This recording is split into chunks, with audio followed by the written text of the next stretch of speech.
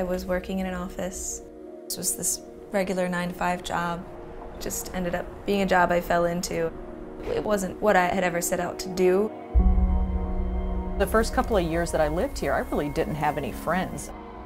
And if you don't have friends or a support group, it can be a really lonely place.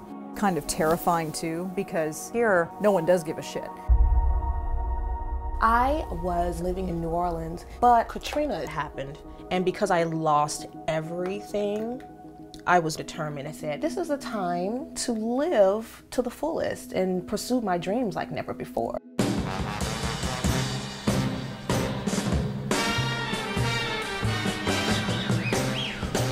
I told my boss that I was quitting. I said, I'm putting in my notice. I'm going to become a full-time burlesque performer.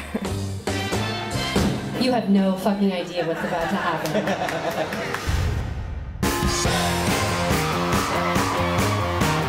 I like to do this act naked, but this is like the closest. It's like there's my pubes, my puss, and my butthole.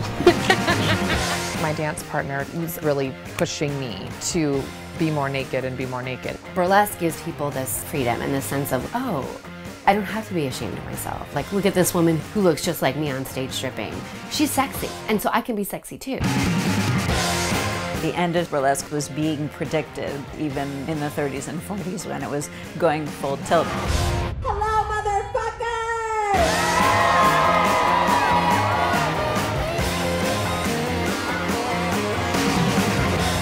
You're always hustling, you're always worried, what if this runs out? I don't want to see myself working in little bars several years down the road. Yes, it's used to me, but the more important thing is like spinning the records on my boobs. People didn't realize that we were making a political statement. When you think about what a burlesque performer looks like in our country, that just isn't someone who looks like me. I'm trying to change the face of beauty. We're all there doing exactly what we want not just getting naked. We're there expressing ourselves completely.